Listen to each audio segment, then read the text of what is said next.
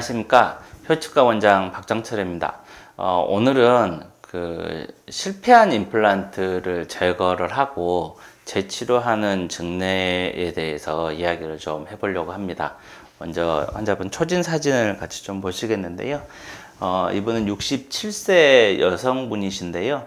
36번, 7번 임플란트의 보너스가 심해지고 잇몸에 염증이 많이 생기면서 이제 치료하기 위해서 저희 병원에 이렇게 오셨던 분이시고요. 음, 일단 치료 계획은 임플란트를 제거를 하고 다시 이제 어, 재식립을 해야 되는 건데 이렇게 보면 아래 하치료 신경도 좀 가까이 있고 그래서 제거하고 바로 식립하는 거는 좀 무리가 있을 것 같아서 계획은 제거를 하면서 어, 좀 치조고를 좀 회복을 좀 어, GBR을 좀 해서 치조고를 좀 회복을 하고 다음에 이제 delayed로 임플란트를 식립을 하고 임플란트 식립할 때 어, 필요하면 GBR을 좀 더하는 그런 방식의 이제 치료를 계획을 했었고요. 그다음에 이제 이 구강내 사진을 보시면 연조직 contour가 되게 좋지 않습니다.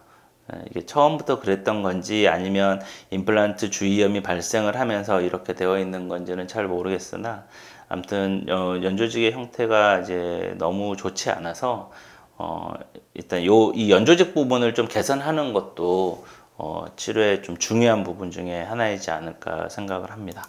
그래서 일단은 어, 임플란트는 이렇게 다 제거를 했고요. 임플란트 이제 수직적인 골 결손이 좀 심해서 이 부분을 좀 회복하기 위해서 이제 지배를 했고요. 비흡수성 멤브레인 등을 이용을 해서 치료를 하는 게 훨씬 더 어, 수직적인 치료골을 회복하는 데 있어서 분명히 유리할 겁니다. 어, 저도 그걸 그렇게 하는 게 맞다고 생각을 하는데 근데 이분 같은 경우는 이제 연조직 형 성상이 너무 좋지 않았기 때문에 비흡수성을 사용을 했을 때 이제 노출이 되면 어 이게 또 안하니만 못하는 그런 결과가 생길 수 있을 것 같아서 비흡수성 머터리얼 쓰는 거는 조금 고려를 하지 않았고요.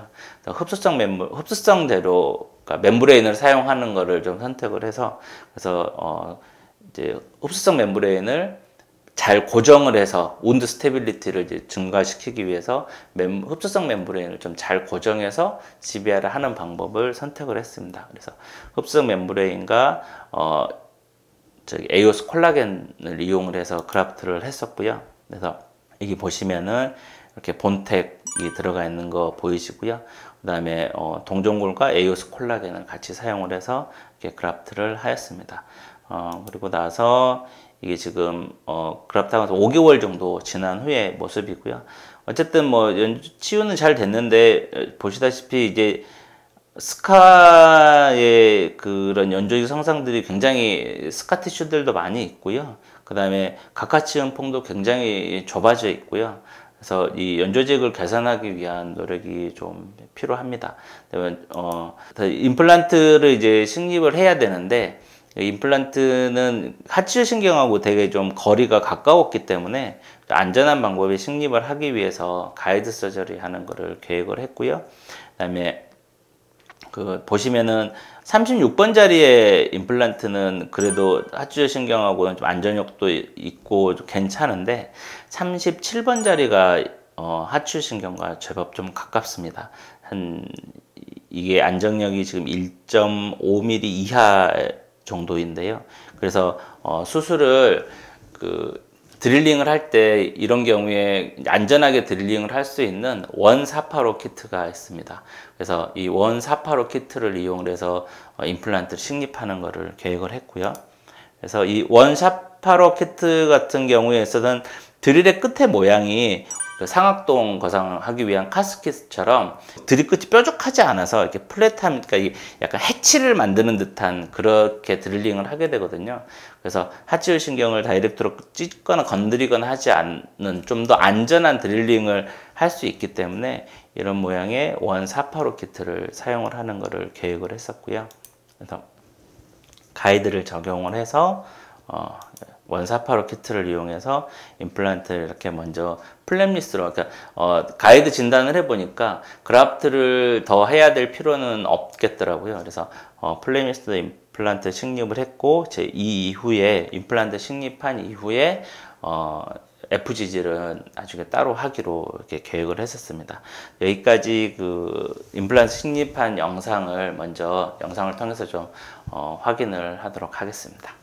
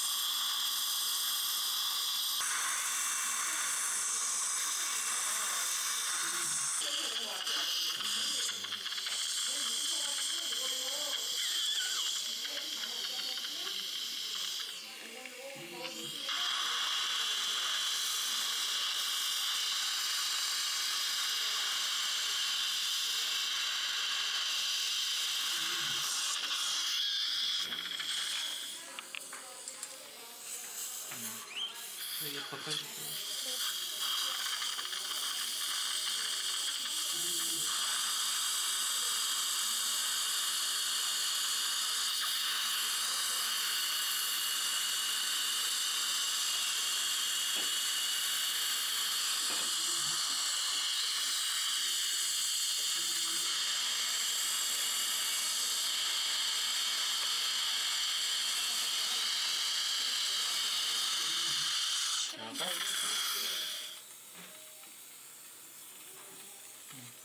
하겠습니다.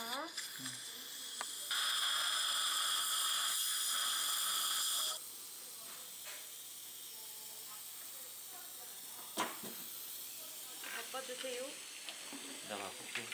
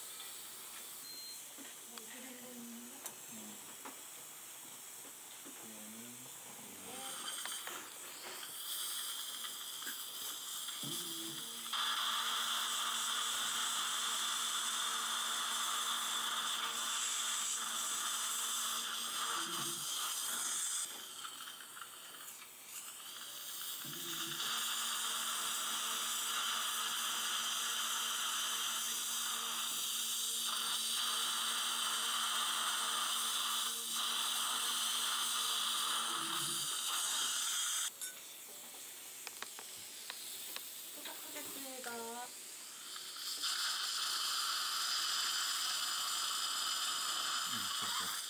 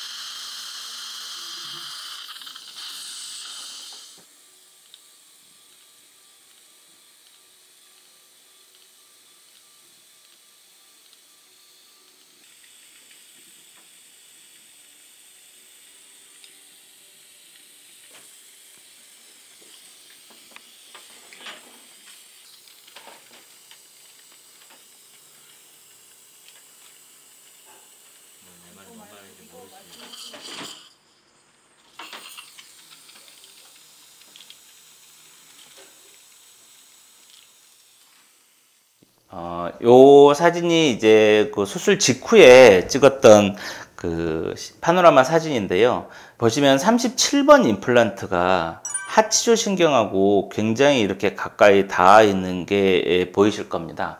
환자분도 약간 통증을 좀 호소를 하셨고요. 그래서 이 사진을 찍어 보니까 너무 가까이 있어서 이제 픽스처를 위쪽으로 360도 돌렸습니다. 그러면 360도면 한 1.8mm 정도, 어, 1.5에서 1.8mm 정도 아마 위쪽으로 올라왔을 거라고 이제 생각을 하고요. 뭐 다시 파노라마를 찍었더니 이제 나치조 신경과는 이렇게 좀 어, 거리가 조금 생겼고 이제 환자분의 통증도 조금 이렇게 감해지는 게 좀 생겼고요. 이제 넘니스에 대한 걱정을 이제 안 할 수가 없는데요. 어, 다행히 이제 수술 후 다음 날부터 환자분한테 전화 드려서 이렇게 체크를 했었는데 다행히 환자분에게 그, 그 신경마비와 같은 넘니스 증상들은 이제 전혀 없었고요. 그래서 이 사파로 키트로 드릴링을 한 해서 이렇게 픽스처를 식립할 때 굉장히 좀 어, 하추 신경과 가까운 경우에 안전하게 이렇게 수술을 할 수 있는구나 이렇게 좀 생각을 할 수가 있었습니다. 어, 나중에 이제 어, 임플란트 식립하고 아마 2개월 정도 지난 시점에 어, FGG를 통해서 협측에 어, 각하치은을 확보하기 위해서 이렇게 FGG를 시행을 했고요. 최종 구철물 바이트가 좀 낮아서 마무리를 못했는데요. 지금은 임시치아를 통해서 이렇게 사용을 하고 계시고요. 협축에도 어, 많지는 않지만 그래도 이제 각하치은이 조금 어, 생겨서 환자분이 크게 불편함 없이 지금 식사를 하고 계십니다. 어, 이번 증례는 여기까지 이렇게 이야기 드리도록 하겠고요. 다음에 또 좋은 증례로 인사드리도록 하겠습니다. 감사합니다. you